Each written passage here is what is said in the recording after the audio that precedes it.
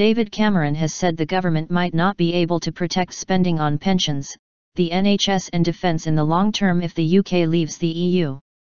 The Prime Minister said Brexit could cause a black hole in the public finances and threaten the triple lock guaranteeing state pension increases.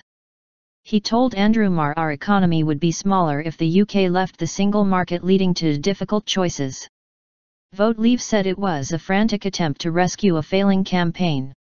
With less than a fortnight to go before the referendum on the UK's EU membership on June 23, other developments include on the penultimate weekend before the crunch vote, Mr. Cameron has used a series of newspaper articles and a BBC interview to warn of the financial consequences of Brexit, saying it could put at risk ring-fenced future funding for public services. He said forecasts from the Institute for Fiscal Studies suggested Brexit could lead to a shortfall in the public finances of between £20 bn and £40 bn which would need to be filled, either by tax rises, extra borrowing or spending cuts.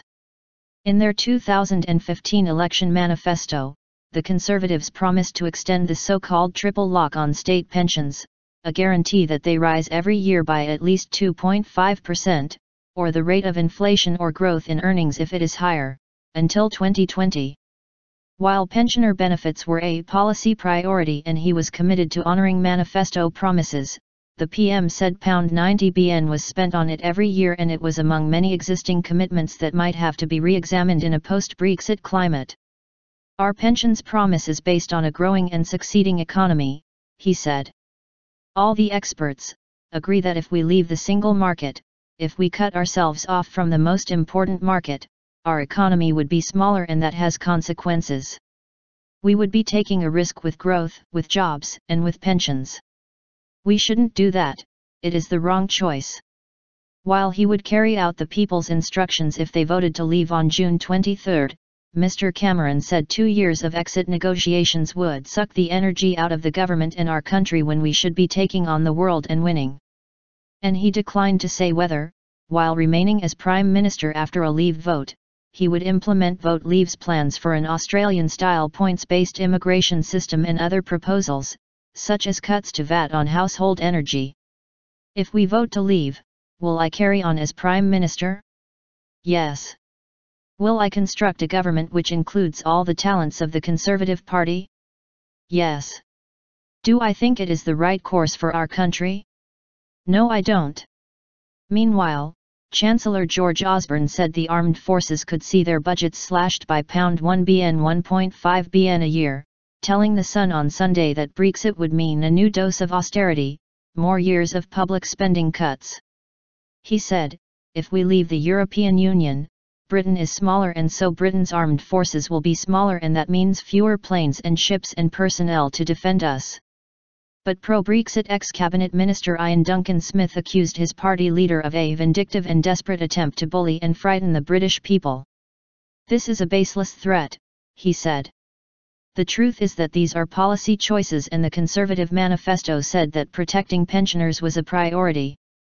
It is now apparent that there is nothing they will not use or jettison in their efforts to keep us in the European Union. Employment Minister and Leave campaigner Priti Patel told Five Live's Pienaar's Politics it was an example of the politics of fear on steroids. And UKIP leader Nigel Farage suggested that voters did not take kindly to being threatened, telling Andrew Marr that if the pound fell slightly after Brexit, so what? Since it was a floating currency and exports would benefit.